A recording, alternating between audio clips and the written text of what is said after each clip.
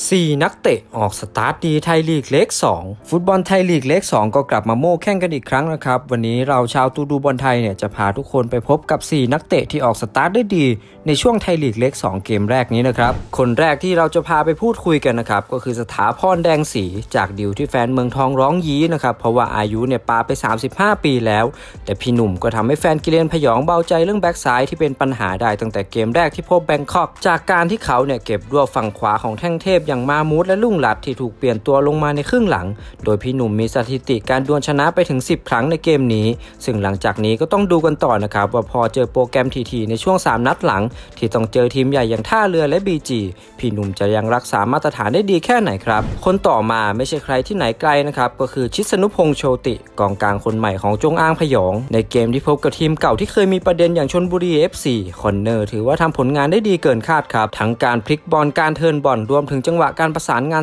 สวยๆกับจักรกิจหลายครั้ง ก่อนจะกระโดด rider kick ยิงประตูชัยใส่ทีมเก่า พร้อมจูบตราสโมสรขอนแก่นแบบฉ่ำๆต่อหน้าแฟนบอลชลบุรีไปหนึ่งยก และถ้ามองว่านี่เป็นเกมแรกในไทยลีกในรอบ 2 ปีของคอนเนอร์ ก็ต้องให้สอบผ่านและนับเป็นหนึ่งในนักเตะที่น่าจับตามองในเลกที่ 2 นี้ครับ คนที่ 3 เนี่ยก็คือโจนาธานเข็มดีครับ ในเกมพบกับนครปฐมโจนาธานยังรักษามาตรฐานในเรื่องเกมรับได้ดี ส่วนในเกมรุกเนี่ยก็มีสถิติจ่ายบอลไปในพื้นที่สุดท้าย 2 ครั้ง และวางบอลยาวสำเร็จ 6 ใน 7 ครั้งครับนอกจากเรื่องการคุมอารมณ์ที่ถือว่าทำได้ดีขึ้นมากแล้วเนี่ยเปลี่ยนจากคนที่ชอบโดนยั่วกลายเป็นคนยั่วเรียกใบเหลืองจากคู่แข่งแทน ซึ่งการได้โชว์ฟอร์มต่อหน้าโค้ชอิชิอิก็น่าจะทำให้โจนาธานมีลุ้นในการติดทีมชาติไทย ไปเจอเกาหลีใต้ในเดือนหน้าเหมือนกันนะครับถ้ายังรักษาฟอร์มได้อย่างต่อเนื่องในอีก 3 เกมข้างหน้า เพราะจากคุณสมบัติที่เป็นกองหลังตัวสูงใหญ่ มีความเร็ว และสามารถบิวอัพเกมได้ ก็น่าจะเข้ามาเป็น partner ที่ดีของพี่โย่งพรรษาหรือว่าเอเลียส ดอเลาะได้ครับส่วนคนสุดท้ายเนี่ยก็ไม่ใช่ใครที่ไหนไกลนะครับก็คือน้องเหนือ ธนกฤต โชติเมืองปัก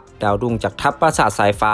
ถือว่าเป็น key man คนสำคัญที่พาบุรีรัมย์พลิกกลับมาเอาชนะลำพูนในช่วง 30 นาทีสุดท้าย จากการมีส่วนร่วมทั้ง 2 ประตู และเป็นคนที่ทำให้แนวรับลำพูนเจองานหนักในช่วงครึ่งชั่วโมงสุดท้ายครับ โดยสถิติส่วนตัวของน้องเหนือเนี่ยลงเล่นในไทยลีกไป 7 นัดทำไปแล้ว 4 แอสซิสต์กลายเป็นตัวโจ๊กเกอร์ของบุรีรัมย์อย่างเต็มตัวครับกับสไตล์การเล่นที่คล้ายคลึงกับรุ่นพี่อย่างศุภโชคสารชาติที่กล้าเลี้ยงใส่แข้ง senior อย่างจริงจังและมี vision ที่ดีในการสร้างโอกาสให้เพื่อนตั้งแต่อายุยังน้อยครับซึ่งจุดนี้เนี่ยถ้าน้องเหนือสามารถพัฒนาเรื่องจบสกอร์ได้เพิ่มโอกาสจะถูกส่งไปเจลีกหรือลีกยุโรปก็คงไม่ไกลเกินเอื้อมครับและนี่ก็เป็น 4 นักเตะที่ชาวตูดูบอลไทยของเราเนี่ยคิดแล้วนะครับว่าออกสตาร์ทได้ดีในช่วงไทยลีกเลก2เพื่อนๆคิดว่านักเตะคนไหนที่ออกสตาร์ทได้ดีในช่วงไทยลีกเลก2ก็สามารถเม้นมาพูดคุยกันได้นะครับ